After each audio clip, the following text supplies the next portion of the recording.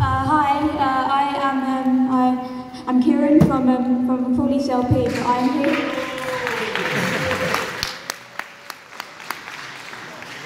Yeah, I am I am here as a um, as a Unite delegate, and um, I have been very um, honoured to be asked by the great people of Brighton Pavilion to um, second this uh, motion on trans rights. First of all, I, I just want to I just want to note how disgraceful it was that this motion was rejected even in the first place, because and and.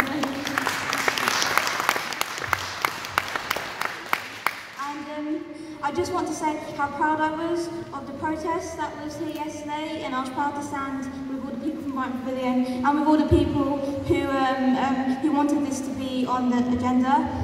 And um, I just want to um, make the point that Labour Party is supposed to be the party of equality, and right here I have a statement from the NEC that says that that says the Labour Party are committed to including self-defined um, trans women on um, AWSs.